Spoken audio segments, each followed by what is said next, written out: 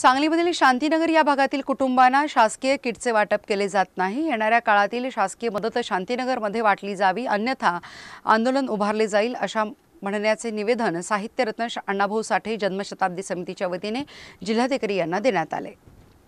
पूरपरिस्थिती सर्वसामान्य होत असताना शासनाकडून जी मदत पूरग्रस्तांना होत आहे. ती मदत सांगलीमध्ये ठराविक ठिकाणी वाटली जात आहे.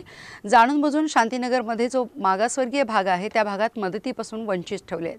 किट वाटप करणाऱ्या अधिकाऱ्यांना याबाबत विचारणा केली असता किट संपले आहेत. यापुढे येणारे किट आपल्या भागात वाटू असे फक्त आश्वासन दिले जात आहे. परंतु शासकीय मदत पुरवली जात नाही असा आरोप साहित्यरत्न अण्णाभाऊ साठे जन्मशताब्दी समितीच्या वतीने जिल्हाधिकारी यांना देण्यात आलेल्या निवेदनात म्हटले आहे. सांगली मिरज आणि कुपवाड महापालिकेचे आयुक्त आणि जिल्हाधिकारी यांनी याचा विचार करावा आणि लवकरात लवकर शांतीनगर आणि ज्या ठिकाणी किटचे वाटप अद्याप केले नाही अशा ठिकाणी ते वाटप करण्यात यावे. अन्यथा जनआंदोलन उभारले जाईल आणि त्याला सर्वस्वी जबाबदार प्रशासन राहील असा इशारा साहित्यरत्न अण्णाभाऊ साठे जन्मशताब्दी समितीचे अध्यक्ष आकाश तिवडे यांनी दिला आहे